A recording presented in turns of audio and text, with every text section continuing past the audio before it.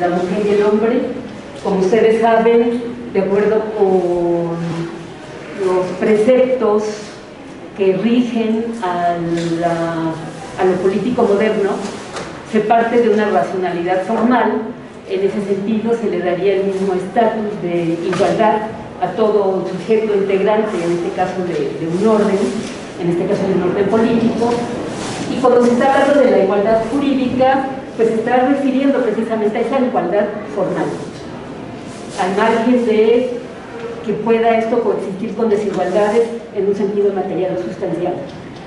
Básicamente la idea sería el que ante el marco legal vigente tendrían el mismo estatuto tanto hombres como mujeres.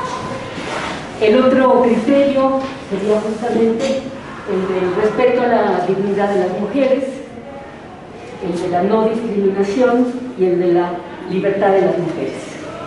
Em, este tipo de marco, de alguna manera, sería el que nos explica justamente el tipo de definición que la CEDAW nos va a dar de violencia institucional precisamente.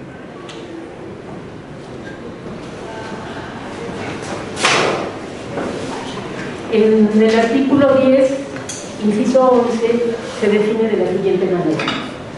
Eh, lo leo tal cual y ahorita me detengo. Es toda acción o omisión abusiva de cualquier servidor público que discrimine o tenga como fin dilatar, obstaculizar o impedir el goce y disfrute de los derechos y libertades fundamentales de las mujeres, así como la que pretenda obstaculizar u obstaculice el acceso de las mujeres al disfrute de políticas públicas destinadas a prevenir atender, investigar, sancionar y erradicar las manifestaciones, tipos y modalidades de violencia conceptualizadas en esta ley. Si ustedes observan, habría dos partes en la definición. Una que nos remite a lo que pueden ser derechos básicos, derechos garantistas, que como se establecía en el primer principio, asisten igual a hombres que a mujeres, eh, me atengo a la terminología que está ahí establecida y ahorita ampliamos el espectro, por supuesto. en ese sentido, la primera parte de la definición nos remite precisamente a cualquier tipo de acción a través de, las cual, de la cual se pudiese estar eh, atentando contra el ejercicio de derechos de las que somos portadores. En tanto que la segunda parte de la definición, a lo que nos estaría remitiendo, es a todo el desarrollo de toda una serie de instrumentos eh, normativos, vinculantes, que han suscrito cientos de países, justamente a propósito de este marco que es la CEDAW, y que son iniciativas que justamente han eh, sido elaboradas con el propósito de corregir, prevenir, remediar lo que sería la violencia de género. Entonces, en ese sentido, precisamente a lo que nos estaría remitiendo es a todas aquellas políticas públicas destinadas a lo que en este caso serían toda esa normativa, todos esos instrumentos encaminados precisamente a evitar esas formas de violencia. Ahora, en esta definición, una de las cosas que a mí me gustaría llamar la atención en primera instancia es que justamente el foco se centra en lo que en este caso sería eh, el papel de los operadores, en este caso servidores públicos, justamente como si fuesen, sin más, eventualmente la fuente de la violencia, sea porque por omisión o por acción estaría justamente interfiriendo, en este caso, en el ejercicio de los derechos respectivos de las personas. Pero a mí una de las cosas que me parece fundamental y sobre todo porque estamos en este momento abocados a pensar en la violencia institucional, en este caso por razones de género, sería justamente el de situar nuestra atención en lo que sería esa dimensión institucional. En este caso, em, una de las primeras cuestiones que nosotros nos tendríamos que plantear es qué pasa con el diseño de las propias instituciones. ¿A qué me refiero? Me refiero en este caso a lo que podría ser la consistencia lógica que habría entre sus marcos normativos conforme a los cuales se regulan y los procedimientos correspondientes para poder ejercer sus funciones y desde esa perspectiva también la consistencia lógica de ese marco normativo por lo que en este caso serían sus propios proyectos y sus políticas, aquellas políticas que se instrumentan, supuestamente encaminadas justamente para ejercer esas funciones institucionales que tienen eh, encomendadas. En ese sentido, eh, la mayor parte de la sesión justamente voy a tratar de que nos centremos en esa dimensión. O sea, lo que me interesa es que podamos distinguir en que la fuente de la violencia no es exclusiva ni se agota. En lo que en este caso residiría en la intencionalidad de aquellos agentes sociales que en calidad de servidores públicos pudiesen justamente estar eh, desencadenando con sus decisiones y sus acciones, sea en términos eh, efectivos o en términos de omisión, como reza la propia definición, y que en ese sentido es menester que centremos nuestra atención, por supuesto, en lo que para el caso sería ese diseño normativo y procedimental de las propias instituciones, cuyos efectos de violencia pueden cobrar formas estructurales. Más adelante voy a remitirme a la definición, por supuesto, también de lo que sería una violencia de tipo estructural. En ese sentido, esa sería una primera eh, precisión que me parece importante, pero habría otra más que por supuesto es indispensable. Si bien el marco normativo de referencia, que sería el de la que nos está sirviendo aquí como, como apoyo, eh, cifra su planteamiento en lo que concierne a las mujeres, que en este caso sería el si se está dando causa para que puedan disfrutar a plenitud de sus derechos, de sus libertades, etc., o en su caso, el que se esté justamente obstruyendo de, distintas formas esta posibilidad, lo primero que nosotros tendríamos que hacer es ampliar nuestros espectros de, de comprensión porque el propio concepto género evidentemente ni es equivalente ni le es exclusivo a las mujeres. Es un tipo de concepto que nos estaría remitiendo a un tipo de marcaje que aplica a los distintos sectores sociales, sean mujeres, sean personas integrantes del el grupo de la diversidad sexogenérica, o sea, los propios hombres. Entonces, desde esa perspectiva, en aras de una aplicación consistente del propio término, tendríamos que ampliar justamente nuestro espectro. dentro de ese mismo marco de la Convención de la CEDAW, la violencia por razones de género se va a definir de la siguiente manera.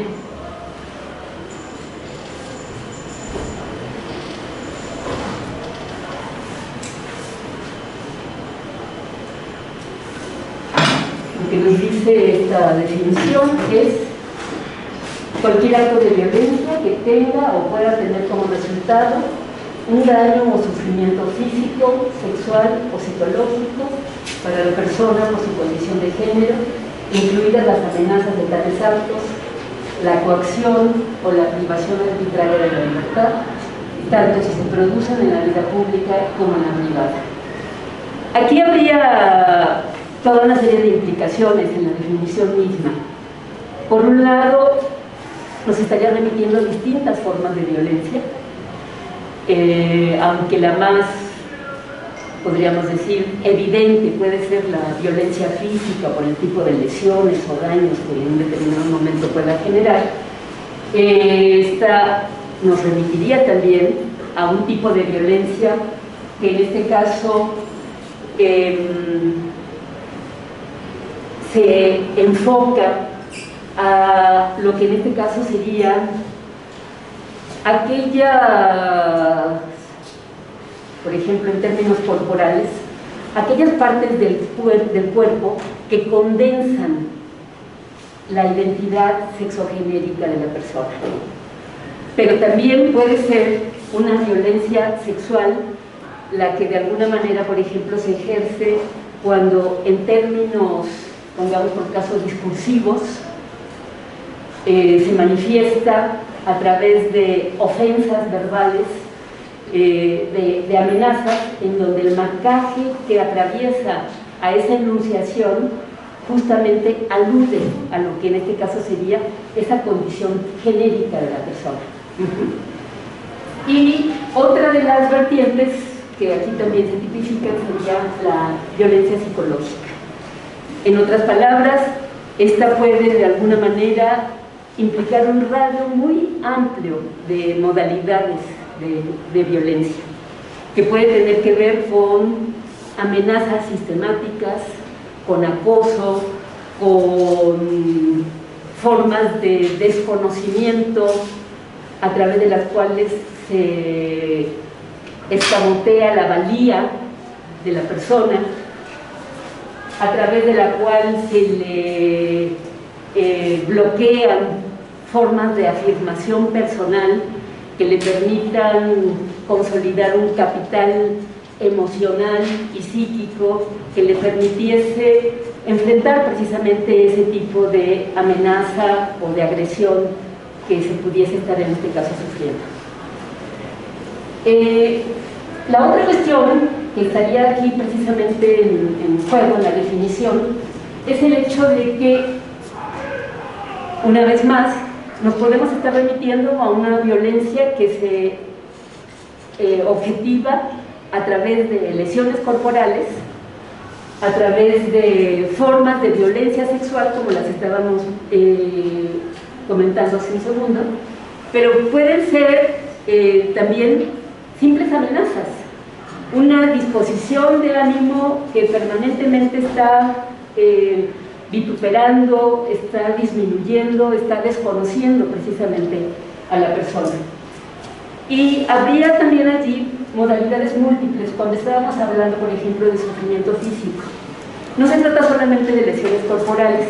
Aquí incluso podríamos ampliar el término físico en términos de la materialidad que puede haber en juego, en términos de el poder tener acceso a satisfactores, como en este caso pueden ser, por ejemplo, satisfactores económicos, justamente. Y entonces estaría también allí de por medio esa modalidad de expresión. Eh, aquí lo interesante es que al hablar de violencia de género o por razones de género y estar intentando enmarcarlo dentro de lo que es la problemática de la violencia institucional, justamente una de las cosas que aquí tendría que resaltarse es que ese tipo de situaciones eh, anómalas, anómalas no porque no sean recurrentes, anómalas sino porque están justamente poniendo en cuestión la dignidad y la integridad, no solo física, sino psicológica, emocional de la persona.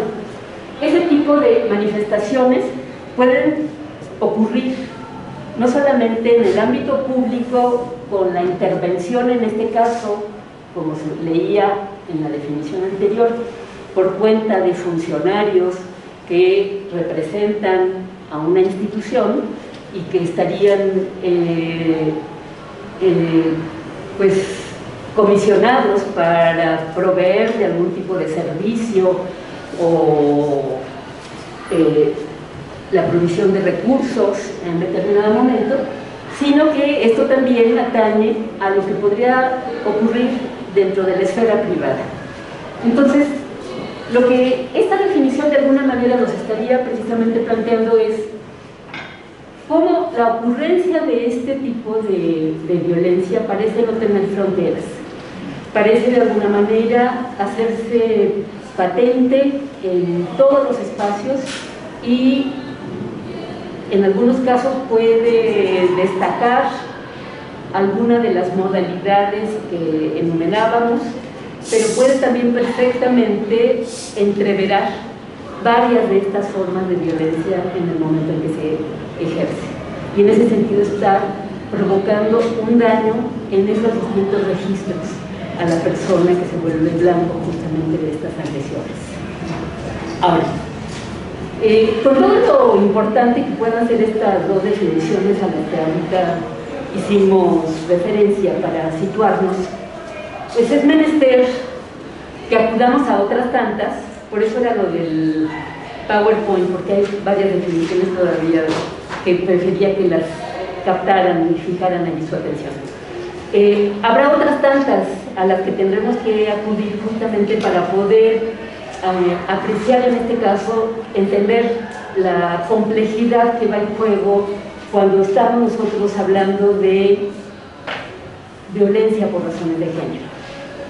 Y cuando, como es nuestro objetivo en este caso, se trata de que entendamos el plus que le incorpora a esa violencia por razones de género el que sea una violencia institucional.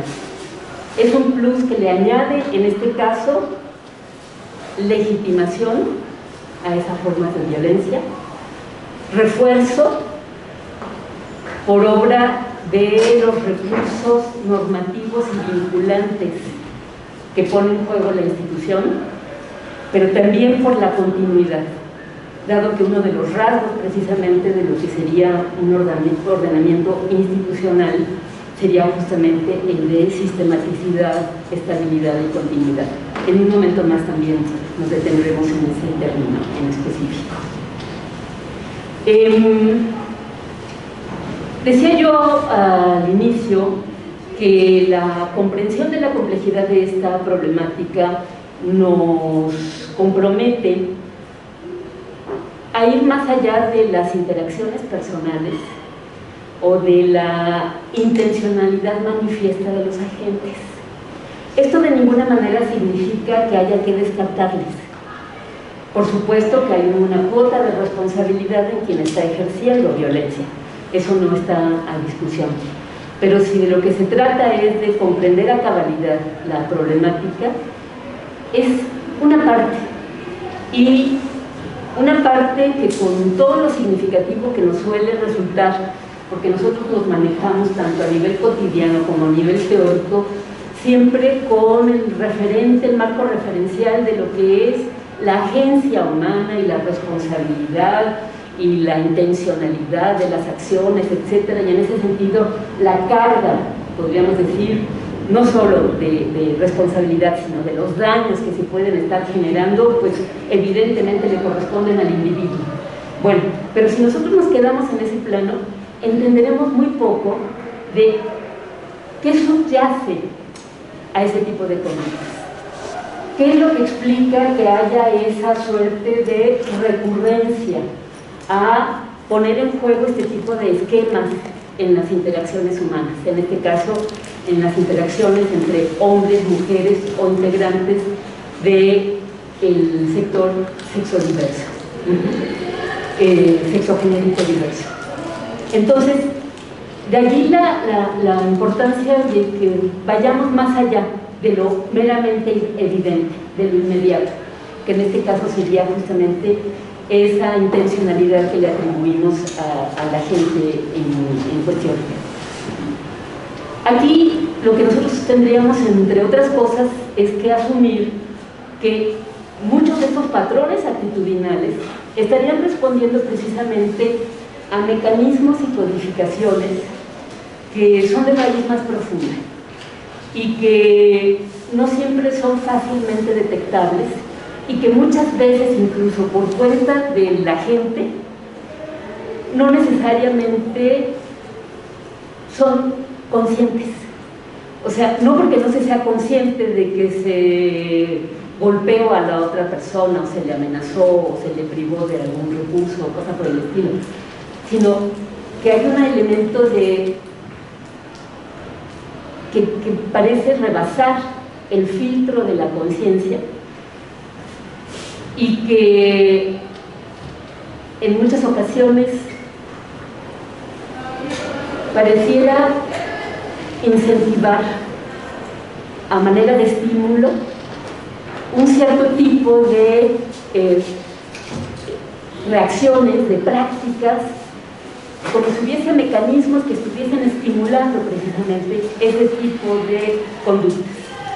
Entonces, en ese sentido, pensar en esa raíz más profunda que podría estar justamente a la base de muchos de estos patrones actitudinales, nos remitirían a um, una dimensión simbólica propiamente dicha, en la que, a la que subyacen justamente lo que podrían ser pautas de construcción de significado, conforme a las cuales nosotros codificamos un orden, establecemos criterios diferenciadores que nos permiten de alguna manera inteligir el mundo, interpretarlo, que nos permiten incluso generar patrones de adaptación a ese mismo orden. Y conforme al cual incluso se estructuran eh, patrones valorativos y clasificaciones y ordenamientos de toda índole, entre las cuales estarían pues, los propios patrones, por ejemplo, de conducta. Este tipo de, de elemento subyacente estaría, en este caso, formando parte integral de lo que son las propias formas institucionales de las que estaremos hablando a lo largo de esta sesión. Se trata de referentes significativos que no solamente configuran orden, dentro del cual nosotros nos integramos, del cual formamos parte, sino que incluso eh, establecen también formas de constitución en términos perceptivos, en términos experienciales, de lo que sería nuestro propio cuerpo y nuestra propia subjetividad. Desde esa perspectiva, una de las cosas que tendríamos precisamente que eh, establecer, que señalar, sería cómo entre esos mecanismos y codificaciones que este tipo de orden simbólico eh, articula y conforme a los cuales nosotros operamos en el mundo y nuestras interacciones humanas, etc., entre esos mecanismos y codificaciones estaría el del sistema sexo-género.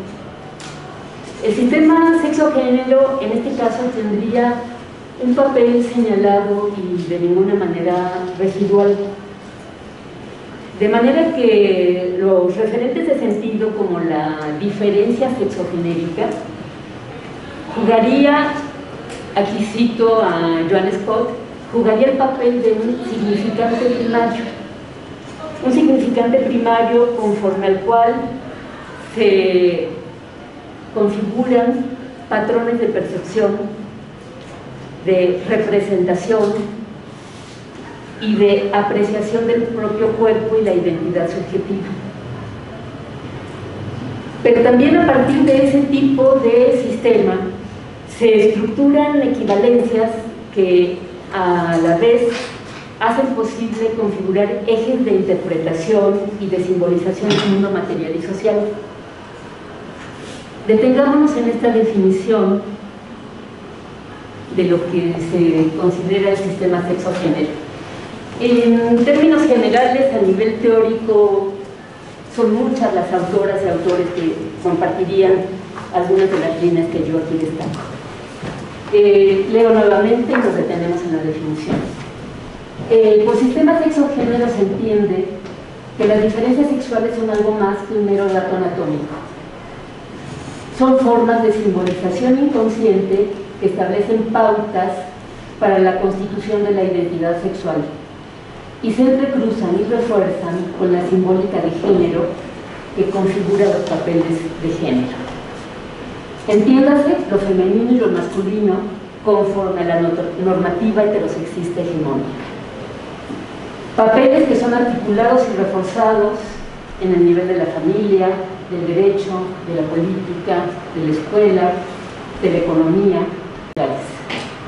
En su conjunto y en forma sobredeterminada, esas diferencias crean un efecto sistemático de división sexual en el que las mujeres y los portadores del significante femenino en la multiplicidad de sus prácticas están sistemáticamente subordinadas, subordinadas, subordinados a los hombres. Aquí habría una primera consideración a, destacar, y es el hecho de que ciertamente en términos anatómicos, hormonales, etcétera, podemos ser portadores de diferencias sexuales. Pero esas diferencias sexuales, justamente una de las cosas que se estaría planteando es en términos de nuestros propios procesos de subjetivación, de nuestros propios procesos de socialización, son diferencias sexuales que son significadas de acuerdo con ese tipo de códigos que simbólicamente referíamos hace un momento. Y esa significación del cuerpo sexual de alguna manera se articula con la, bueno, en una primera instancia, esa forma de significación de la, sexualidad, acorde con patrones culturales, nos remite de alguna manera a una determinada forma de percepción, interpretación y de objetivación a través de nuestras propias conductas, de la propia apreciación de nuestro cuerpo, etcétera, a un determinado tipo de disposiciones actitudinales. Aquí lo interesante es que algo que pareciera ser un dato anatómico no se queda en esa dimensión biológica, en esa dimensión natural, sino que es aculturado justamente a través de ese proceso de significación. Y lo que aquí resulta interesante es que esa identidad sexual se articula justamente con lo que en este caso sería la simbólica de género.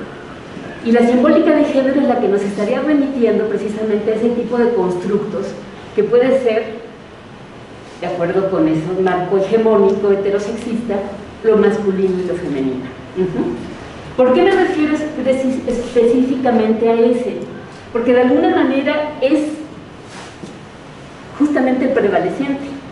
Y tan lo es que de alguna manera lo que nosotros nos encontramos es que cuando se trata de identificar, tipificar, clasificar, etcétera, a personas que no responden a esa lógica binaria, pareciera que de alguna manera trastoca el propio esquema conforme al cual nosotros socializamos, situamos, identificamos, etcétera, a las personas. Y típicamente, en forma eh, prejuiciada, se suele en automático asociar. Bueno, si la persona es una mujer que se define como lesbiana, entonces en automático le atribuimos el rasgo de la masculinidad este, que correspondería a cómo explicar el que tenga preferencia este, por personas de su mismo sexo.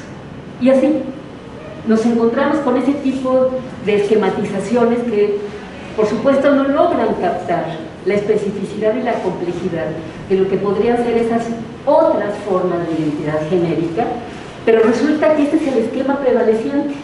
Y este es justamente el que se discute hoy por hoy, justamente por su carácter no solamente incompleto, restrictivo, sino incluso violento, porque prácticamente pasa a negar, a devaluar, a no otorgarle reconocimiento o un lugar a personas que no entran dentro de esa esquemática.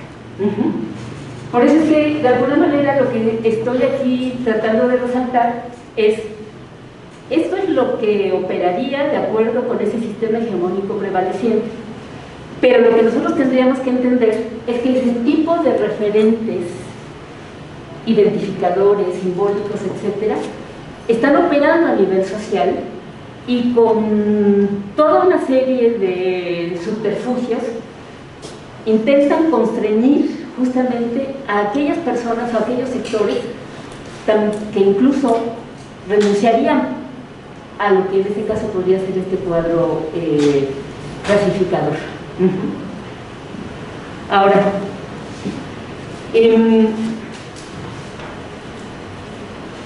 la, importancia de, remitirnos a, esta definición es precisamente el que podamos entender los distintos niveles que están en juego. Decíamos, desde luego que nosotros en nuestra dimensión subjetiva y corporal y psíquica eh, somos depositarios o portadores en determinado momento de cierto tipo de rasgos anatómicos, como decía yo al principio. Pero resulta que esos rasgos anatómicos están atravesados por lo que sería esa forma de aculturación a la que me estaba yo refiriendo hace un momento. Y en donde la articulación entre lo que puede ser esa conformación sexual y lo que en este caso es esa simbólica de género, parece ser un tipo de articulación que prácticamente define lo que en este caso serían nuestros propios patrones identitarios y con ello nuestros propios esquemas eh, de representación y nuestros esquemas de percepción y nuestros esquemas valorativos emocionales y actitudinales. Pero al mismo tiempo, entre las cosas que se están precisamente señalando es, no nos quedamos solamente en ese tipo de registro, de lo que social y culturalmente parecen ser ese tipo de marcos ordenadores. No nos quedamos solamente en lo que sería la forma en que nosotros introyectamos ese tipo de referentes significativos sino que esto se plasma y se traduce en forma objetiva, en prácticas y en formas eh, de organización social, como pueden ser estas entidades que están allí enumeradas, las de ordenamiento político, las de los ordenamientos jurídicos, las de la propia familia y así sucesivamente. Nos vamos a detener precisamente en esas distintas aristas, eh, en lo que sigue.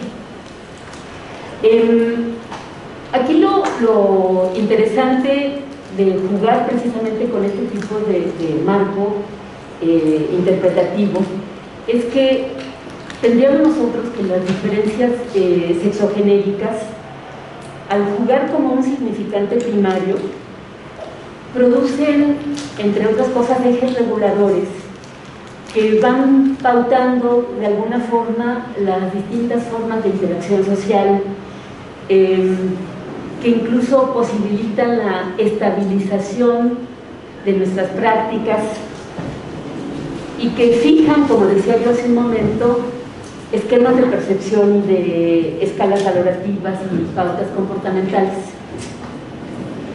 Em, esto si lo viésemos en un sentido social, cultural, pero esto va de la mano con esa introyección que nosotros hacemos precisamente de ese tipo de patrones, en un sentido mental, psicoemocional y corporal.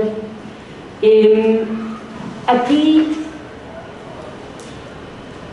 hay autores, por ejemplo, como Bourdieu, al que en un momento más me voy a, referir, que recurre a un concepto muy potente, que es precisamente el de hábitos.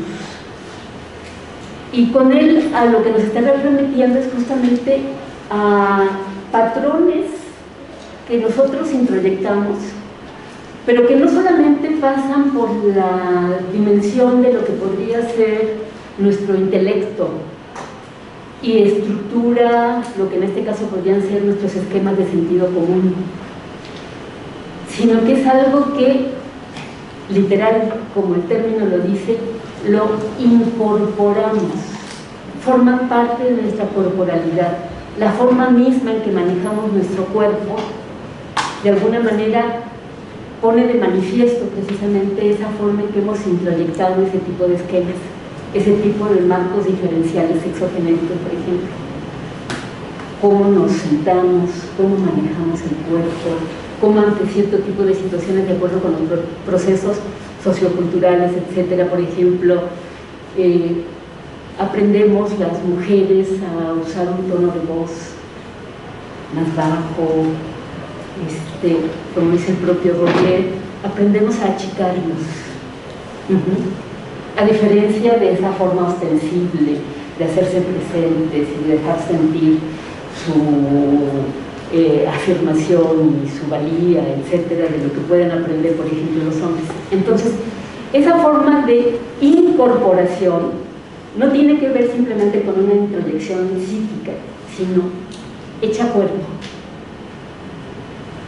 Y el hábito de alguna manera nos estaría remitiendo precisamente a esa dimensión, en donde hay toda una serie de, podríamos decir, una lógica que se juega en términos inconscientes, aunque haya momentos en que nosotros mismos nos podemos percatar de cómo nos estamos conduciendo. Pero pese a cualquier tipo de juicio que nosotros incluso hagamos de esos aprendizajes, a la menor oportunidad repetimos esos esquemas aprendidos. Entonces yo puedo, por ejemplo, eh, haberme, haber reaprendido eh, formas más libertarias de las que me inculcaron de pequeña o cosas por el estilo, pero muy probablemente si estoy en un espacio público y empiezo a ver, si llevo una falda que me mira las piernas, inconscientemente acomodo mi vestido. o sea, son cosas que luego a lo mejor, como nos dice el propio autor, me pueden causar enojo de por qué actúe de esa manera o me pueden hacer sonrojar y de alguna manera lo que estarían evidenciando es precisamente ese carácter callado, pero persistente y efectivo e introyectado e incorporado de ese tipo de esquemas precisamente. Bueno, entonces, en este tenor decíamos, esas diferencias sexogenéricas estarían operando como un significante primario con todas estas alcances a nivel, decíamos, de esquemas de valoración, de esquemas de percepción, etcétera, pero también a nivel de las formas en que nosotros introyectamos esos esquemas en nuestra propia subjetividad, en nuestro propio proceso de subjetividad. Lo que aquí resaltaría, entre otras cosas, es el hecho de que estos elementos, tanto en ese sentido sociocultural como en ese sentido psíquico, eh, dan lugar a pautas que cobran formas simbólico-discursivas, práctico-discursivas, que operan como formas de regulación justamente de nuestras propias prácticas. Y se sedimentan y se reiteran sistemáticamente en todos los contextos y ello afianza lo que sería la reproducción y la legitimación precisamente de ese tipo de patrones significativos y ordenadores. Ahora, la propia Joan Scott, además de destacar este papel de significante primario que tendría justamente este tipo de, referentes, destaca algo más que sería el que el propio género, ella está hablando de género, Dice, es una forma primaria también de relaciones significativas de poder. Pareciera que ese mismo tipo de esquemas justamente se convierten en una suerte de suelo primario desde el cual y por medio del cual se articula el poder. Y esto prevalece en múltiples tradiciones, la judío-cristiana, cristiana, la islámica, etcétera, y en ese sentido incluso históricamente vemos cómo de alguna forma se repiten. Entonces, ahora que estamos en este mes patrio, a lo mejor por ahí han escuchado o leído eh, recuentos históricos de declaraciones hechas por personajes históricos, etcétera, eh, héroes de la patria y cosas semejantes. Y lo que nosotros vemos, por ejemplo, es cómo en muchas ocasiones, muchas de sus arengas, arengas muchos de sus discursos, etcétera, se pueden estar refiriendo a la importancia de consolidar una patria, de signos patrios que además hay que construirlas con compromiso y con una honra en la que se jueguen los valores de la virilidad. Y entonces uno no puede más que eh, conmocionarse ante ese tipo de discursos porque dice uno, ¿y por qué la constitución de la patria tendría que llevarle por medio el que sean esquemas de virilidad? Este, los que le definen, los que le sustentan, los que les dan este, fuerza y persistencia. Bueno, porque justamente vienen a ser este tipo de referentes que, aunque parezca eh, arbitrario, se incorporan justamente a ese tipo de discurso de cómo articulamos nuestros esquemas de poder. Y los esquemas de poder que de alguna manera justo conforme a ese tipo de definición que estábamos aquí señalando, de alguna forma lo que establece como lógica articuladora de ese sistema es una lógica simétrica, en la que, como se dice al final, sistemáticamente se subordina, no solamente en este caso a lo femenino, sino también a los portadores de ese significante femenino. Si alguien como miembro de la comunidad gay este, nos protestara y nos dijera yo no me identifico de ninguna manera con un referente femenino porque mi identidad es mucho más compleja e, irrumpe y, y, trastoca esos esquemas, podemos dar por bueno, ¿sí? Pero el tema está en que en términos del discurso social ese tipo de minusvalía y de desconocimiento del que se le hace objeto estaría respondiendo a que se le asocia o se le equivale con el significante de lo femenino. O sea, es algo allí extraño que no entra dentro de nuestros esquemas, pero por supuesto no es lo masculino, no es el portador de lo masculino, y entonces lo situamos en esa condición de subalternidad. Por eso hablo de aquellos sectores que serían portadores del referente femenino. Más allá de que tendríamos que entender la complejidad que rebasa justamente este tipo de temas, como decíamos hace un momento. Bueno, este, este tipo de planteamiento efectivamente a lo que nos estaría remitiendo es a que el propio sistema sexo-género lo que estaría instalando son formas desigualadoras, de manera inequívoca, en todos los planos, con todos los matices. Desigualadoras. Pero formas desigualadoras que todas y cada una de ellas lleva de por medio formas de ejercicio de violencia. Formas de ejercicio de violencia porque no solamente no se estaría reconociendo el mismo estatus en términos, podríamos decir, de capacidad intelectual o de integridad moral o de competencia en términos técnicos, instrumentales, y ello de alguna manera eh, explica el que en el plano de nuestras propias formas de organización social haya toda una serie de mecanismos que justamente operan con ese tipo de criterio eh, de cancelar oportunidades o de otorgarlas de forma desventajosa, de forma diferenciadora. Entonces, ya el propio sistema sexo-género, como les digo, produce y reproduce estos efectos desigualadores de manera sistemática, tanto en términos de asignación de valía, por ejemplo, o en términos de escamoteo de oportunidades o de escamoteo o restricción abierta de libertades. Y todo lo cual se plasma pues, en formas de discriminación, en formas de exclusión, de restricciones y de controles mediante formas de dominio y de subordinación.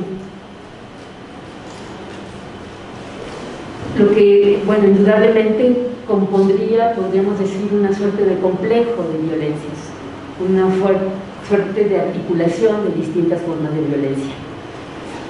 Una de las poderosas formas de violencia que se pone en juego precisamente a propósito de este tipo de sistema que tiene una presencia contundente dentro de nuestros ordenamientos sociales, sería justamente el de la violencia simbólica.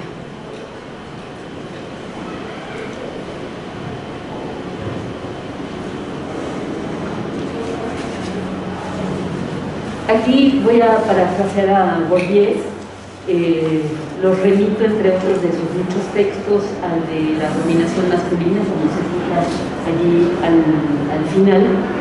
Y precisamente eh, lo que Bourdieu nos dice a ese propósito es que la violencia simbólica sería una suerte de violencia amortiguada, insensible e invisible para sus propias víctimas, ya que en nombre de un simbólico conocido y admitido tanto por el dominador como por el dominado, se articula la comunicación, el sentido común, el sentimiento, y da lugar a una suerte de sumisión paradójica, sedimentando una lógica de dominación. O sea, cuando nosotros nos preguntamos precisamente por qué persiste en formas de dominación, dada esa relación asimétrica, ese sistema sexo-género, podríamos decir que uno de sus recursos más potentes, efectivos, que contribuye a esa persistencia, es justamente esa dimensión simbólica de la violencia, que efectivamente nos puede pasar desapercibido y que sin embargo ejercemos y reproducimos sistemáticamente. Aquí la estaríamos de alguna manera focalizando en lo que concierne a la violencia por razones de género pero evidentemente la violencia simbólica no le es exclusiva a ese campo. Nosotros podríamos estar hablando de violencia simbólica a través de todas aquellas conductas, por ejemplo, discriminatorias por razones clasistas, racistas, entre otras, ¿sí? O las múltiples que derivan de ellas, ¿no? Entonces, en este punto, justamente lo interesante es que mm, no se trata de un tipo de violencia en la que solamente quien la ejerce juega un papel activo. Lo que se estaría diciendo es que en la violencia simbólica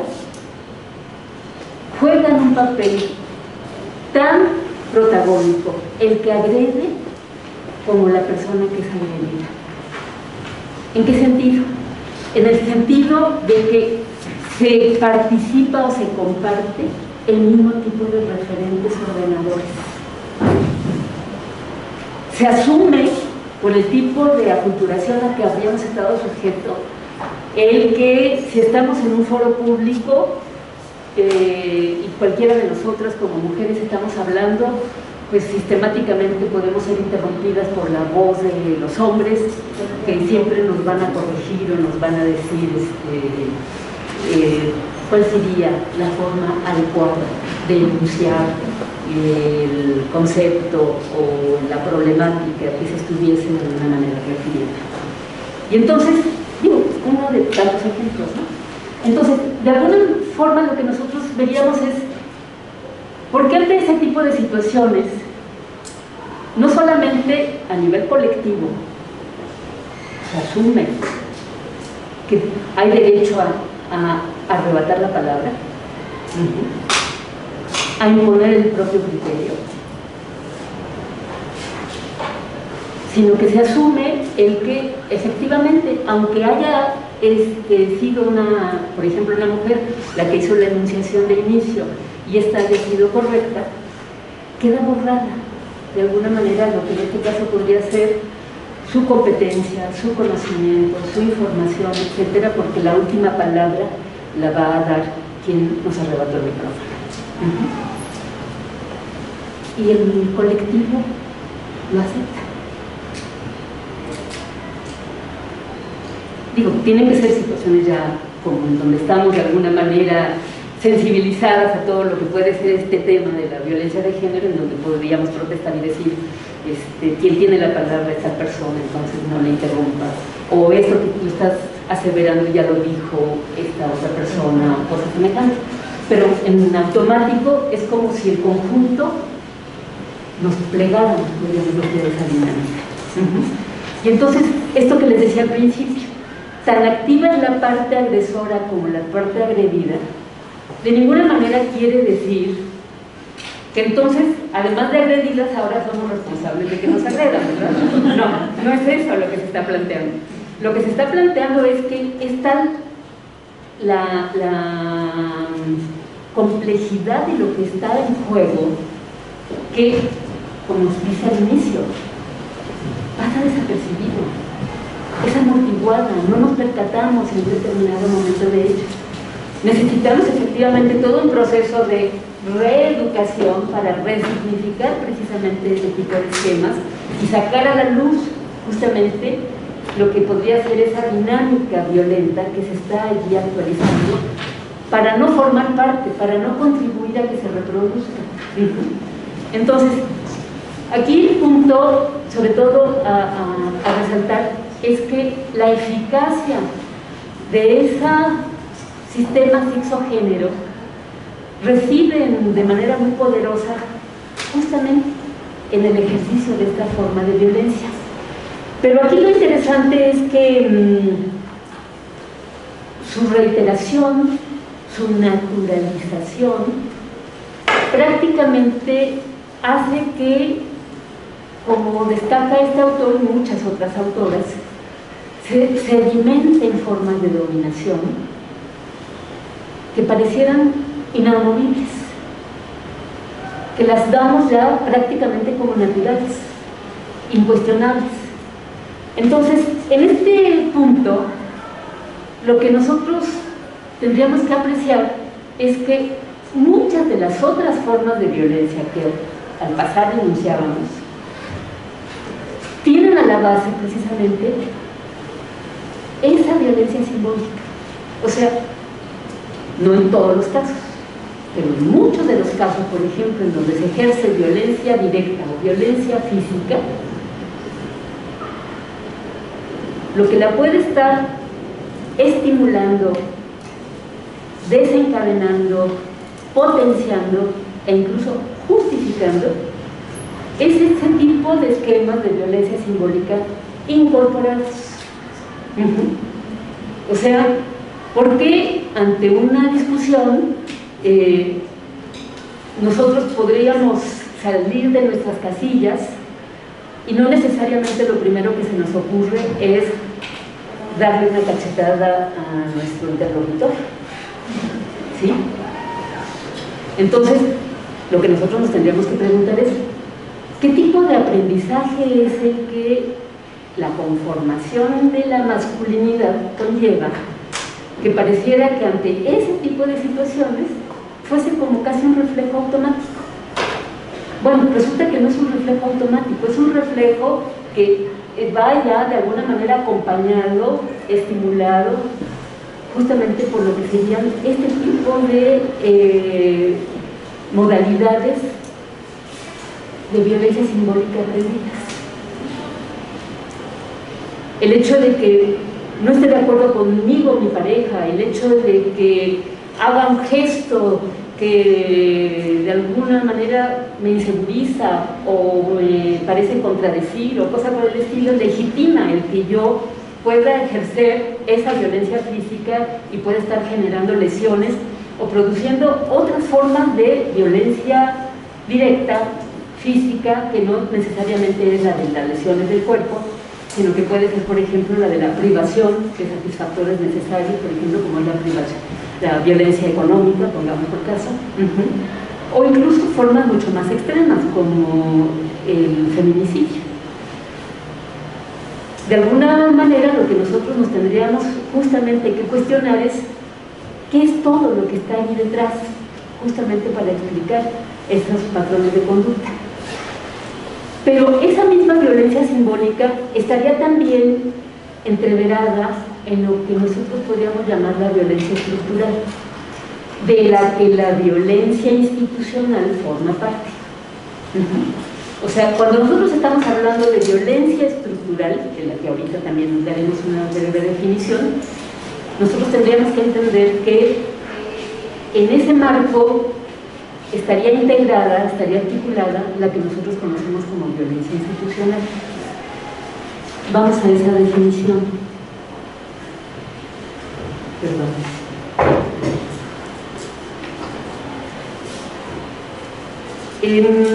son distintos autores y autoras, por supuesto, las que han eh, desarrollado en términos de teoría de la violencia, etcétera, conceptualizaciones al respecto. A mí una de las que me parece como muy eh, potentes es la que desarrolla Johan Galpin. Y Johan Galpin, ahí está la... Eh, en este caso, por ejemplo, entre los elementos que él destaca es que la violencia estructural se podría considerar como concomitante o consustancial a lo que son determinadas formas de organización socioeconómica y sociopolítica. Y que son múltiples las formas a través de las cuales se expresa, como puede ser la de miseria, la de alienación, la de represión. Entre las cosas precisamente que él señala es, uno muchas veces, yéndose otra vez al nivel de lo más patente, lo más visible, lo observable, como puede ser la violencia física, puede pensar que es la violencia mucho más contundente, más, eh, que genera más costos.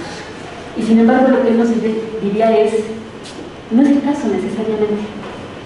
Si es una lesión a la que sobrevivimos, evidentemente, pues está sana. Pero no necesariamente uno sana igualmente a lo que uno se ve sometido sistemáticamente es a la humillación, a la exclusión, a la privación. Y entonces, en este sentido, justamente lo que él estaría destacando es, no solamente es el bloqueo a través de cualquiera de estos recursos, para el desarrollo de necesidades materiales, psicológicas, psicológicas, espirituales, humanas, sino que de alguna forma lo que nosotros veríamos es modalidades a través de las cuales se nos estaría privando esa posibilidad de desarrollo humano se nos estaría de alguna manera constriñendo en términos incluso de perder lo que en este caso podría ser un marco de autonomía, de juicio propio, de criterio propio, de opinión propia, o formas de represión que atentan precisamente con lo que serían nuestras libertades. Este tipo de, violencia, que es entre otros elementos a destacar, justamente una de las cosas que dice el autor es, incluso si nosotros nos vamos, por ejemplo, a los marcos jurídicos, cuando se denuncia un delito y se trata de eh, tipificar y acorde con ello sancionar, usualmente en términos jurídicos se tiene que cumplir con cierto tipo de condiciones, como en este caso es identificar a la persona agresora. Identificar incluso cuáles fueron las condiciones de la situación dentro de la cual se dio precisamente ese tipo de, violencia. Incluso factores como podrían ser si fue imprudencial o si fue intencional, si fue planificada. Todo ello va a determinar cuál puede ser el tipo de sanción a que se haga acreedor, a la persona.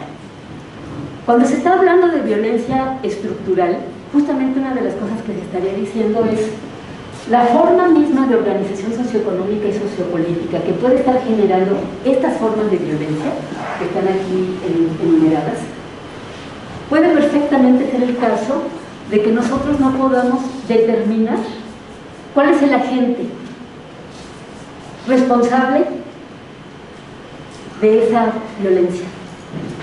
Puede ser el caso de que nosotros no podamos determinar cuál es el factor que como fuente explica el que surja precisamente ese tipo de violencia. Y sin embargo, la podemos tipificar como violencia.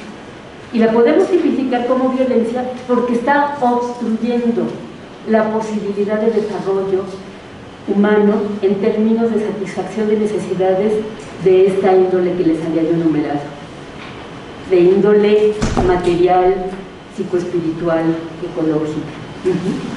Entonces, justamente esa violencia estructural de alguna forma parece estar presente en muchos de los espacios dentro de estos ordenamientos en los que de los que nosotros formamos parte, de estos ordenamientos eh, socioculturales e institucionales.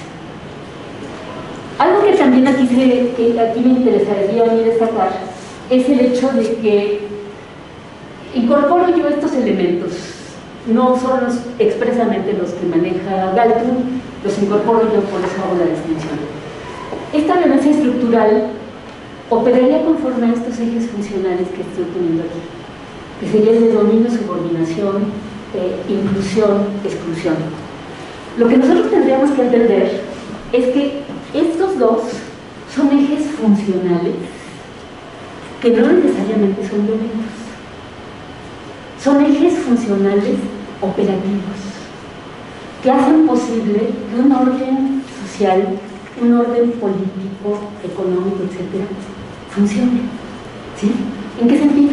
Si nosotros partimos de que formamos parte de sociedades masivas, complejas, etc., pareciera menester que una forma de reducir complejidad es que no todo mundo nos atribuyamos la posibilidad de tomar las decisiones o que determinemos como condición el que hasta que no nos pongamos de acuerdo y opinemos todos, entonces se decide, porque muy probablemente ese orden se vaya al abismo, ¿sí? antes de que prospere algo. De alguna manera, cualquier tipo de ordenamiento sociopolítico parece tener como uno de sus requisitos justamente esta forma de organización asimétrica, que en este caso sería dominio subordinación. La necesidad de que alguien conduzca y los otros sean conducidos. Esto puede responder a condiciones muy diversas. Puede ser que alguien en forma pues, prácticamente tiránica, dictatorial, determine que nos va a conducir y nosotros por temor o por lo que sea nos doblegamos. Bueno, pero puede también ser democrático el que nosotros reconozcamos que tal persona puede fungir como tal autoridad que va a cumplir esas funciones de conducción. Y cabe perfectamente que dentro de esa misma lógica democrática, igual que un día nos toca ser conducidos, otro día nos toca ser conductores. Pero es una forma, podríamos decir, organizativa que reduce complejidad y hace posible que los ordenamientos funcionen. Y lo mismo ocurriría con el de inclusión-exclusión. El de inclusión-exclusión, de alguna manera, lo que nos estaría remitiendo es, dentro de un ordenamiento, eh, particularmente cuando nos referimos una vez más a ordenamientos que tienen un cierto grado de complejidad, Cabría, por ejemplo, estipular el que hay personas o grupos que pueden en un determinado momento tener un tipo de conocimiento, saberes, etcétera, que le hace competente, pongamos por caso, para fungir como quien configura y emite leyes y se conforma en este tipo de poder, en este caso, por ejemplo, legislativo. Y quienes, careciendo, podríamos decir, de esa competencia, de ese conocimiento, etcétera, y de esa atribución en el sentido de que se le haya reconocido dentro de las normas de ese orden esa competencia y esa atribución, queda de alguna manera excluido de lo que podría ser precisamente ese tipo de tarea. Entonces, en este caso, insisto, pueden ser ejes meramente operativos, no necesariamente llevan en juego la discriminación por delante. La discriminación en el sentido de eh, minusvaluar o excluir o someter o cosas por el estilo. Bueno, pero una de las cosas que a mí me interesa justamente aquí resaltar es que si bien es el caso que este tipo de, de operación de nuestros ordenamientos puede requerir justamente este tipo de ejes, nos falta mucho, muy poquito. Son cinco perdón. y cuarto. De apuro, apuro. Este, puede perfectamente ser el caso de que este tipo de ejes, por así decirlo, en términos funcionales, se apliquen de manera neutra, simplemente en términos operativos. Pero cabe perfectamente la posibilidad de que se apliquen o se articulen en su aplicación con criterios de distinción y valoración. De manera que ese tipo de aplicación con criterios de distinción estipule categorías o estatus diferenciales por razones ya no meramente competenciales, ya no meramente de porque se es portador de tal o cual profesión o conocimiento o cosa por sino porque se pertenece a un determinado grupo que social y culturalmente es objeto de algún tipo de discriminación. Entonces, en este caso, lo que nosotros veríamos es otro tipo de situación en juego. Podríamos, en último término, decir, en términos abstractos, la operación de un ordenamiento social requiere de este tipo de ejes operativos para que funcione, pues. Pero cabe perfectamente la posibilidad, e históricamente podemos encontrar cualquier cantidad de ejemplos, ¿sí? en donde ya no solamente el eje operativo en su sentido neutro, sino entreverarlo precisamente con este otro tipo de criterios. Bueno, decía yo hace un momento que la violencia estructural sería el marco dentro del cual nosotros podríamos interpretar lo que es la violencia institucional. La violencia institucional entraría como la propia, incluso más allá de la violencia, la propia conformación institucional entraría como parte constitutiva de lo que puede ser la forma organizativa, la forma de estructuración de nuestras sociedades. Vamos a detenernos un momento más en otra definición a este respecto.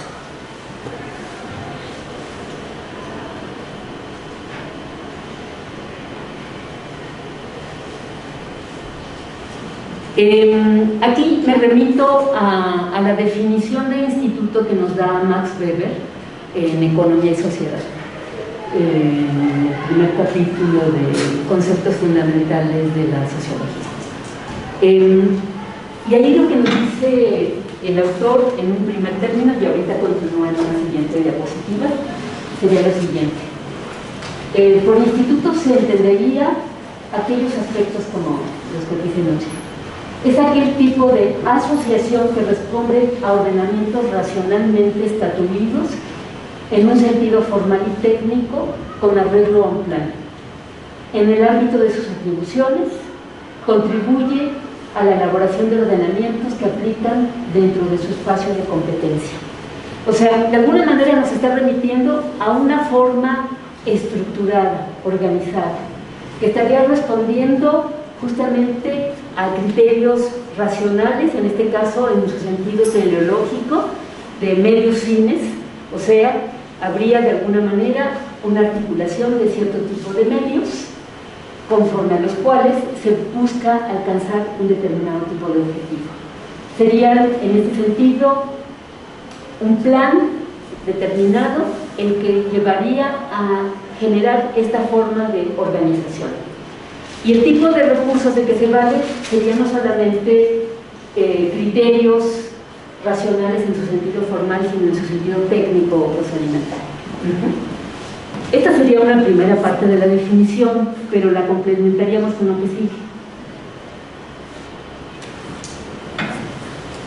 El que se consolide el proceso de institucionalización lo que estaría implicando es la posibilidad de continuidad, la probabilidad de contar con obediencia a esa normativa, lo cual conlleva el recurso de poder para trascender resistencias y establecer validez a las ordenaciones. O sea, cuando estamos hablando aquí de poder, puede no ser necesariamente un poder físico. Puede ser el poder, pongamos por caso, si eh, lo que yo proveo como marco institucional es un servicio de salud, yo puedo determinar a quién, quién se vuelve acreedor, por ejemplo, a que yo le eh, ofrezca el servicio o a quién se lo, se lo restringo. Ese poder tiene que ver en este caso con normas vinculantes que mostrarían la obligatoriedad de cuál es el universo dentro del cual aplica y a cuál no aplica en un momento dado. Pero seguiría esta otra beta. Su operación regular y continuada implica contar con medios como un cuerpo administrativo, como pueden ser instancias burocratizadas. Bueno, y esa asterisco tenía aquí debajo. La consolidación de la forma instituto sería propiamente moderna y su forma paradigmática es la forma de Estado, que en función de la complejidad y división de funciones se plasmarían en instancias institucionalizadas a manera de un sistema que integrarían a la maquinaria estatal.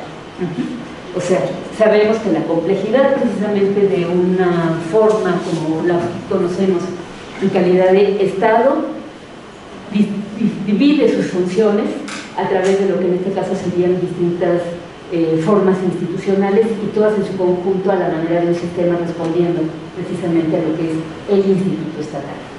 Bueno, en este, en este punto eh, habría cuestiones interesantes a, considerar. Em, partiendo de ese marco, de lo que en este caso sería un instituto,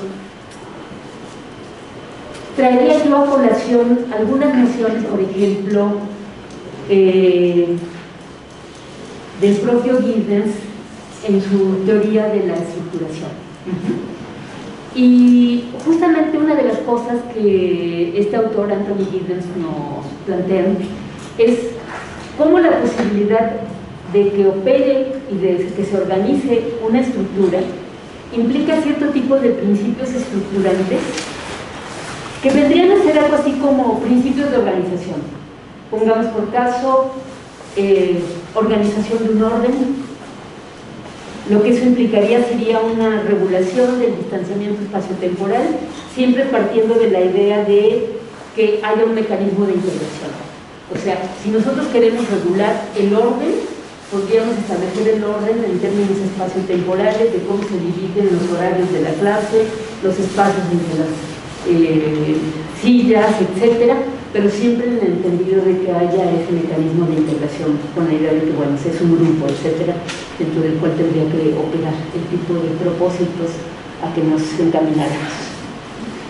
Entre los criterios que destaca, por ejemplo, eh, Giddens, está el hecho de que ese tipo de principios estructurantes lo mismo nos pueden constreñir en el sentido de que nos condicionan y nosotros nos adaptamos, podríamos decir, a ese tipo de principios, pero también nos habilitan, en el sentido de que hay una cierta dimensión de agencia en el que nosotros con base en ese tipo de patrones podemos desarrollar otro tipo de conductas o variantes de las propias conductas.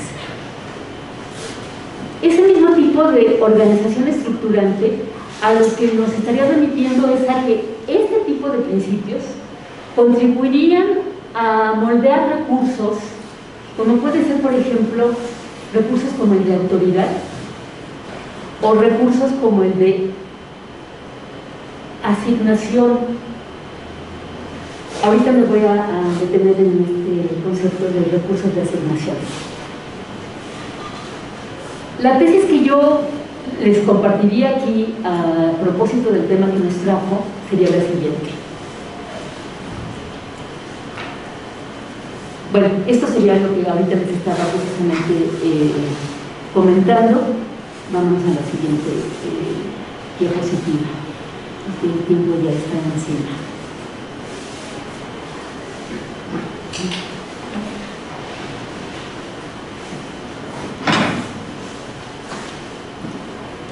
De alguna forma lo que eh, yo sostendría es precisamente el hecho de que cuando hace un momento les planteaba que la forma de operación de una organización socioeconómica o sociopolítica recurre a este tipo de ejes ordenadores, como puede ser el de dominio, subordinación, el de inclusión, exclusión, y les decía que podían aplicar en un sentido meramente operativo neutro, lo que yo estaría sosteniendo es que justamente hay una suerte de articulación entre lo que sería esa forma de operar de la propia estructura social, de los propios mecanismos institucionales, con el plus que le otorga en este caso este sistema sexogénico. Lo leo y, nos detenemos para, para explicar. Como les digo aquí, yo considero que el sistema de instituciones funcionaliza como un archivo o como un insumo.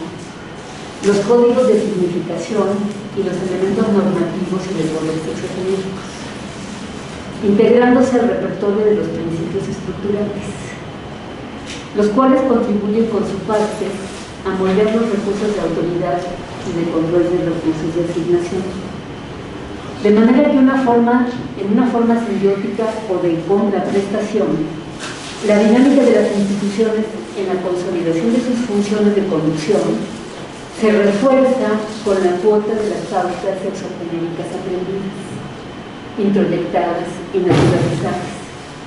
Y en lo que concierne a las pautas del sistema sexogenérico, estas obtienen por cuenta de los procesos y dinámicas institucionales el plus de la reproducción sistematizada, la carga normativa y vinculante de sus recursos de dominio y la cuota de legitimidad de un orden instituido.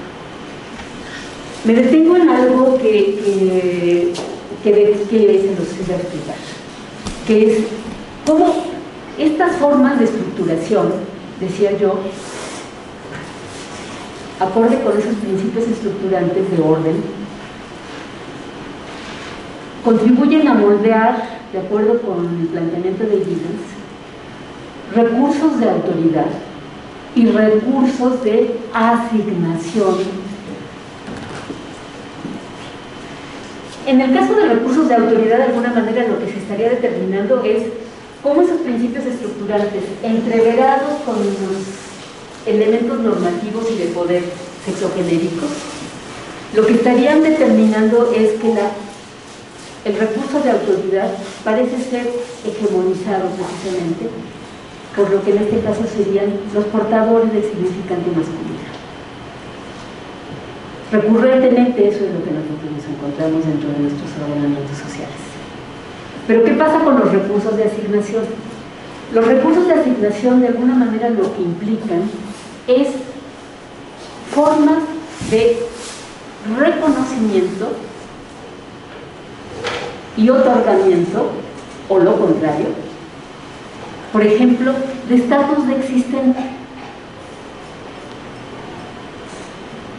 Estamos hablando de un universo como en este caso es un orden social, en este caso incluso un orden institucionalizado.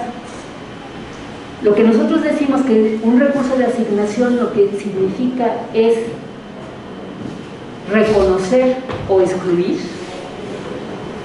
lo que significaría para el caso es que se determina, de acuerdo con ese tipo de criterios de asignación, a quién se le da estatus de existente.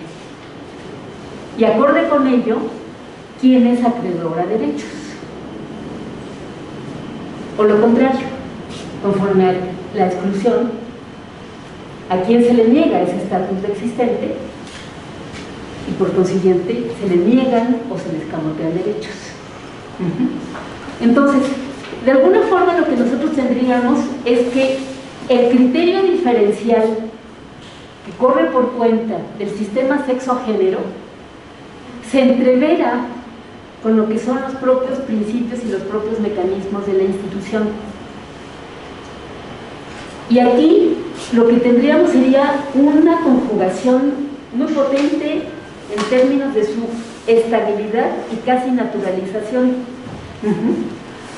Porque justamente cuando estábamos hablando del sistema sexo-género, decíamos, hay una dimensión que corre por cuenta de lo que son nuestros propios procesos de subjetivación, en donde nosotros hemos aprendido, introyectado, acorde con esas pautas, incluso no solamente desarrollamos nuestros propios perfiles identitarios, sino nuestros patrones de conducta, nuestras emociones, nuestros valores, etc. Ese, esa, esa cauda, por así decirlo, ese capital práctico simbólico, discursivo simbólico, es funcionalizado, como dijo aquí, por el propio sistema institucional. Porque de alguna manera muchos de sus mandatos que efectivamente podrían correr por cuenta del ejercicio del poder, ni siquiera es menester hacer uso expreso del poder. Pensemos un poder agresivo, violento, físico, no se necesita el garrote. Si uno de alguna manera ha introyectado de acuerdo con este tipo de aprendizajes. Ciertos esquemas que le colocan a uno acorde con ese esquema diferenciador dentro de cierto tipo de roles, dentro de cierto tipo de papeles, etc., es un capital que funcionaliza la institución y con ello afianza su continuidad, su eficacia. Y viceversa. De alguna manera lo que nosotros veíamos es que el propio sistema sexo-género obtiene un plus con esa institucionalización. Y ese plus justamente se lo da esa reproducción sistematizada de lo que es un orden institucionalizado. Esa carga normativa y vinculante, o sea, en términos de obligatoriedad de la normativa.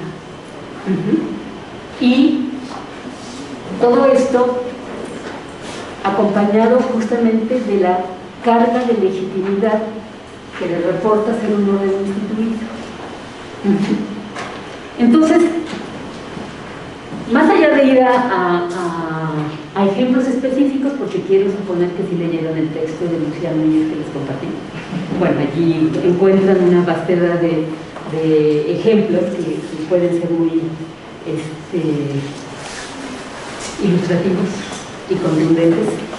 Pero lo que nosotros podríamos decir es que allí lo que está en juego es precisamente cómo, por ejemplo, pueden ser mecanismos institucionales, pongamos por caso los de regulación territorial, que en ciertos momentos históricos en nuestro país, pero aún actualmente en otros países, pueden, por ejemplo, en un momento dado eh, desconocer el derecho a la propiedad de la tierra a las mujeres.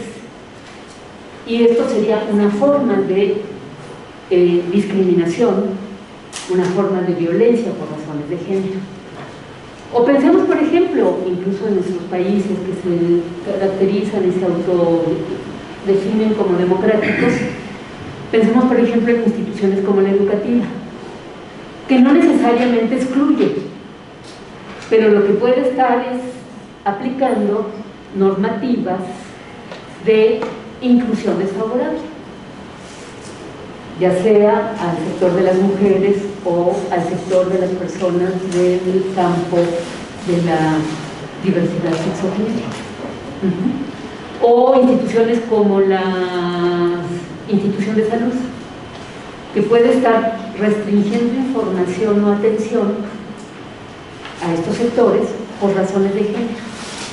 Y ya no hablemos de lo que podría ser una institución como es la del derecho eh, penal o el de las instancias de eh, aplicación de la justicia, que como nos dice Lucía, reproducen género.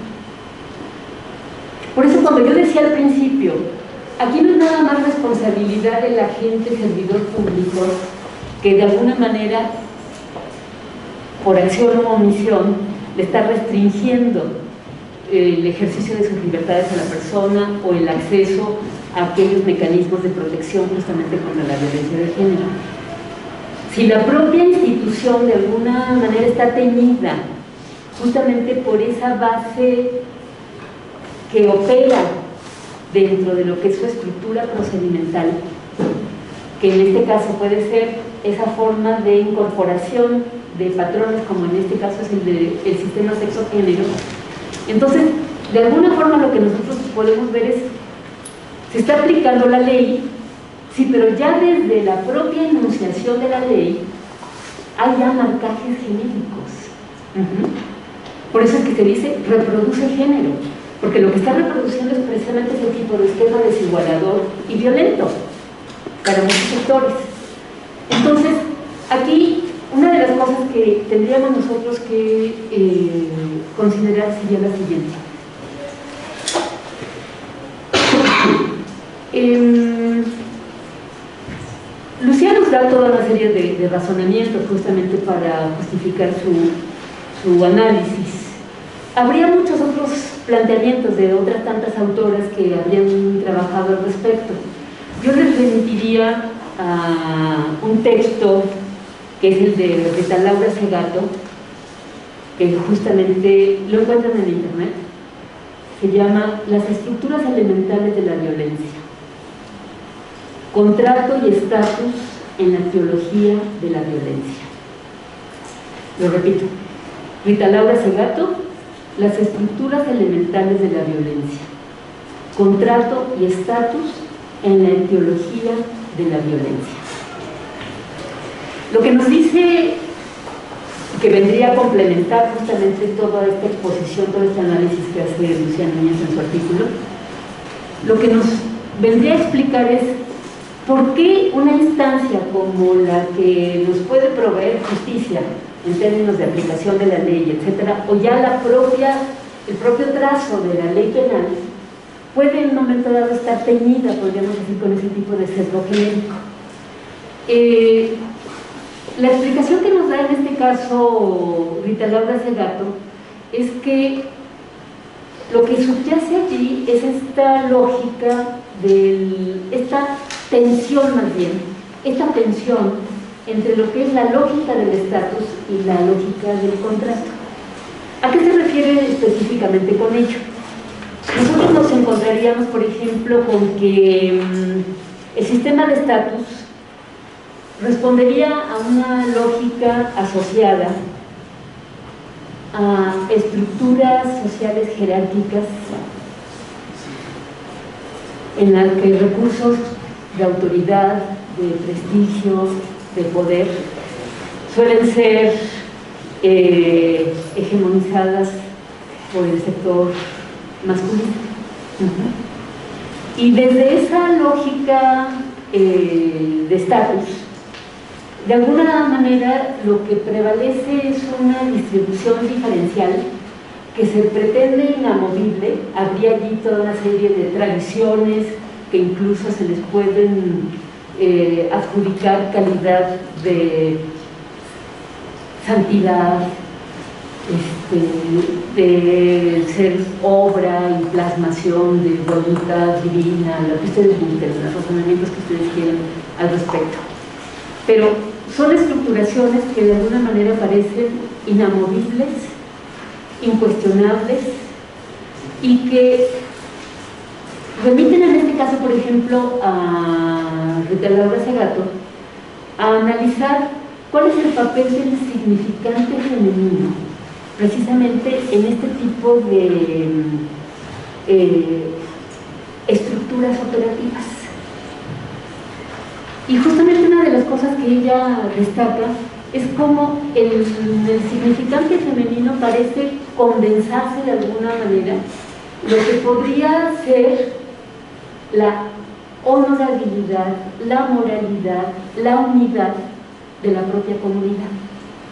De forma tal que las líneas de conducta de las mujeres, la interpretación de sus conductas, parecen de alguna manera ser un asunto juzgado precisamente dentro de lo que son estas instancias jerarquizadas, por lo que en este caso pueden ser los depositarios justamente de ese tipo de autoridad, de ese tipo de poderío. Y en ellas se condensa justamente lo que podría ser la persistencia y la integración de la propia comunidad.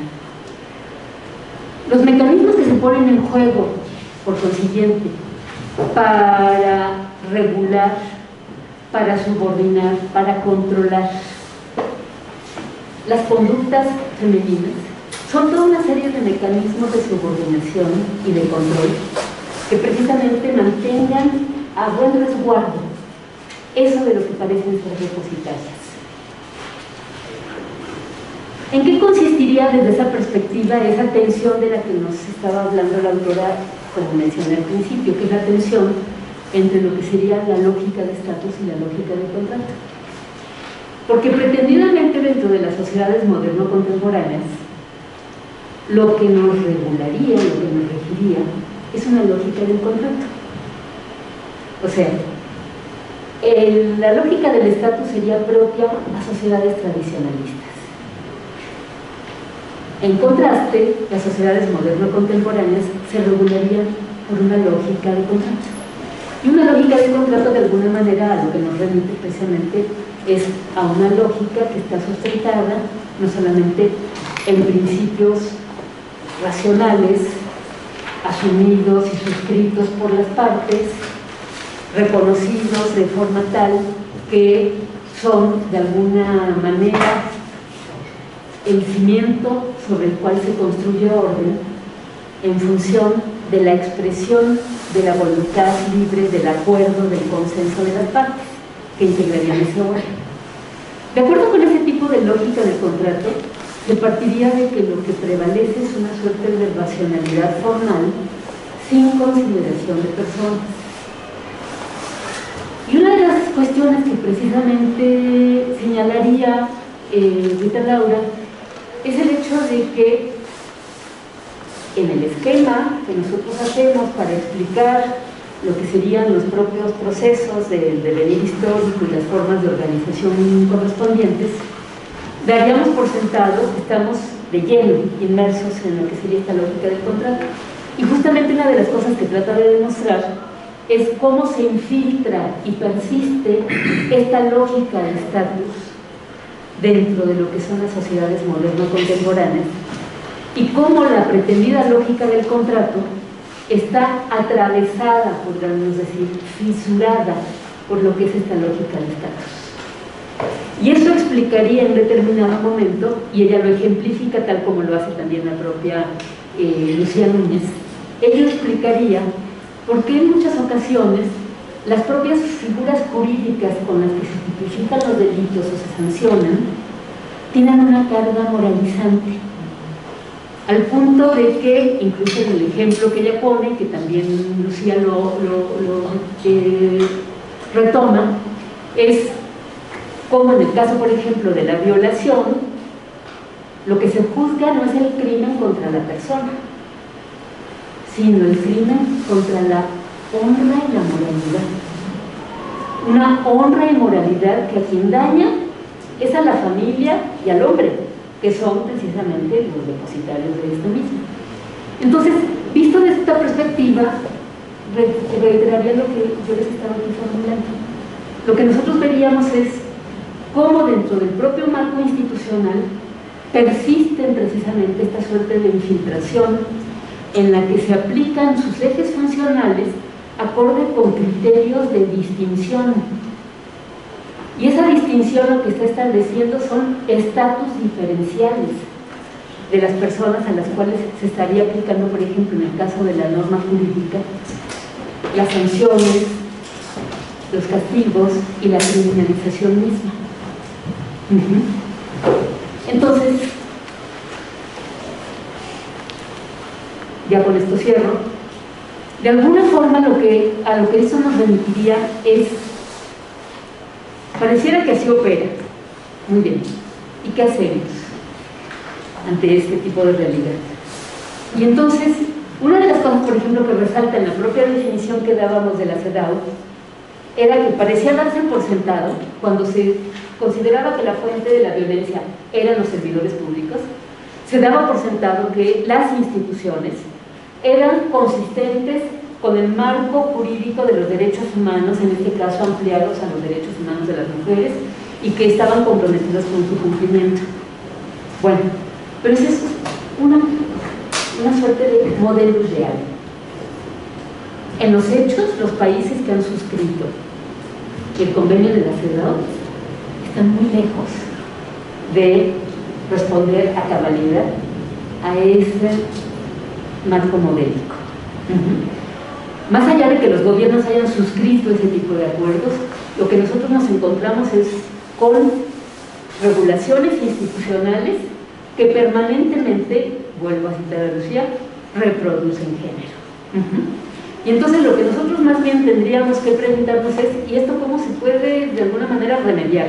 ¿Cómo se puede prevenir el que se reproduzca precisamente este tipo de violencia institucional por razones de género?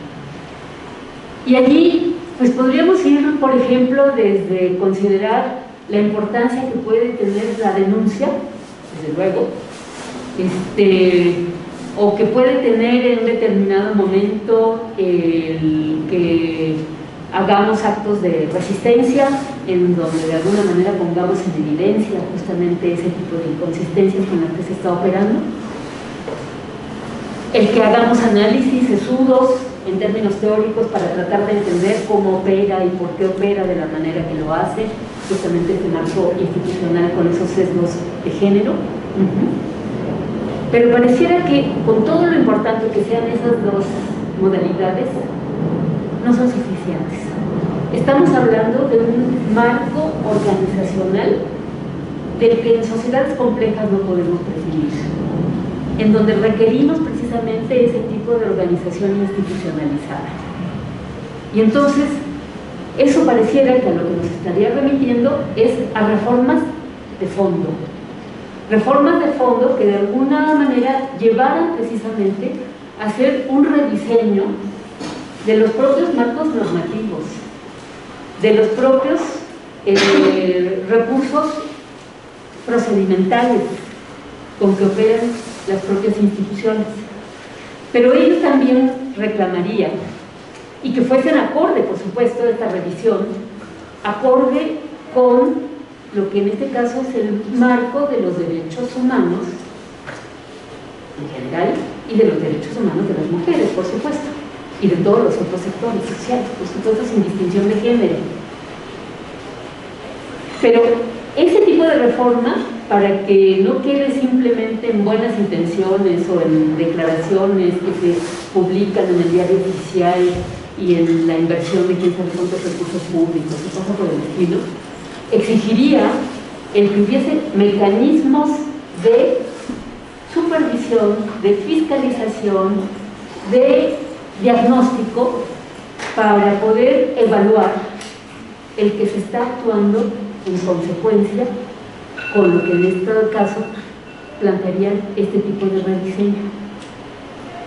Y es desde ese tipo de transformación, de rediseño, que se tendría que considerar la importancia de este otro tipo de recursos, como pueden ser, por ejemplo, cursos de formación y sensibilización de los servidores públicos, normativas de conducta,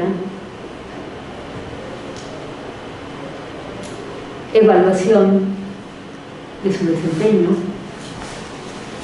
y, por supuesto, aplicación de sanciones efectivas en caso de que esto no se cumpla. De otra manera, cualquier reforma que se hiciera en términos institucionales pareciera ser eh, poco fructífera. Pero, dada esta interacción que estoy aquí justamente planteando, evidentemente esto no va solo.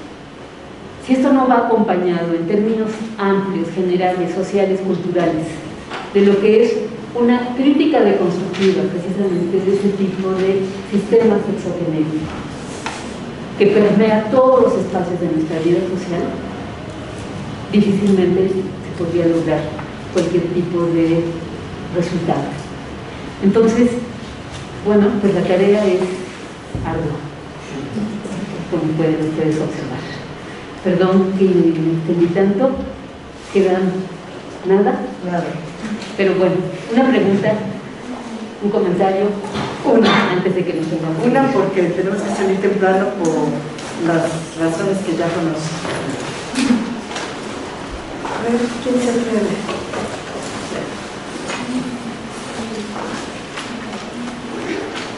No, bueno, este, no, no sé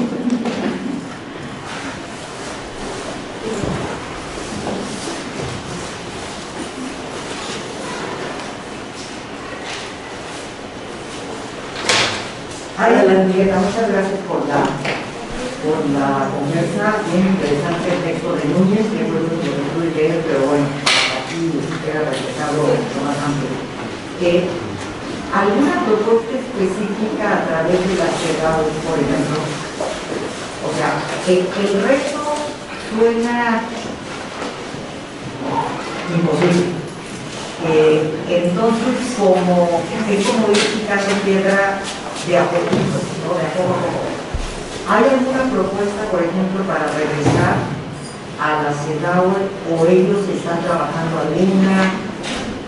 Bueno, el, el, trabajo es sistemático y de alguna manera lo que se promueve es precisamente una articulación con gobiernos, que son quienes suscriben este tipo de, de acuerdo, pero también hay un trabajo muy amplio con distintos tipos de organismos, de sociedad civil organizada, de instituciones de toda índole, no solamente en términos de salud, educativa, judicial, etc. O sea, el trabajo es permanente. Incluso podríamos decir que muchas de las iniciativas que aunque parece que no acaban de fructificar, pero que de repente por ahí registramos a nivel noticioso de que, bueno, se están dando cursos de sensibilización de género a las policías o se están de alguna manera este, sancionando eh, a cierto tipo de organismos justamente por ejercer o cometer este tipo de violencia, de alguna manera estarían encaminadas precisamente en esa, en esa política. Aquí sobre todo, bueno, en la lista que, que enuncié, pues me faltó la de los sindicatos y partidos políticos, que aunque haya este tipo de normativa vinculante de paridad de género, etcétera, usan cualquier cantidad de subterfugios presionando para no cumplir. Bueno, pretendidamente habría un compromiso sistemático tal que si un partido político hace este tipo de triquiñuelas, se vuelve objeto de algún tipo de sanción. O sea, de alguna manera de lo que se trata es de que se asuma es un compromiso colectivo y que aunque efectivamente hay una dimensión que en este caso tendría que ver con la dimensión gubernamental e institucional en primera instancia, acorde con los compromisos suscritos, esta es una tarea social colectiva. O sea, nosotros podemos perfectamente en un determinado momento, en nuestra calidad ciudadana, organizados como sociedad civil de distintos eh, perfiles y banderas, etcétera, pues tomar la bandera, asumir también la parte de compromiso que esto eh, representa. E interactuar, en este caso no solamente con lo que son instancias gubernamentales a nivel local, sino aprovechando justamente que hay este tipo de instancias internacionales, el poder acudir como ocurre, no en muchos casos, pero que ha ocurrido de manera simbólica, han sido muy significativos, a este tipo de instancias internacionales precisamente para denunciar y lograr que haya sanciones a los propios gobiernos y eh, a continuación a las instancias ya específicas institucionales que hayan podido concursar en la continuación justamente de este tipo de, de, de patrones de conducta. Entonces, no, es un, es un compromiso político y que ¿Okay? Bueno, pues este, desgraciadamente no podemos seguir platicando. Esto realmente a mí me hubiera gustado tener media hora, 40 minutos por lo menos, porque planteaste cosas muy interesantes que vienen mucho a cuento, además con todo lo que hemos estado viendo y justo eh, trataste conceptos que nos hacían mucha falta, ¿no? Clarificar ciertas cosas que hacían mucha falta. Yo te doy las gracias de que en un día tan complicado como el de hoy te hayas animado a venir y, y te quiero aplaudir.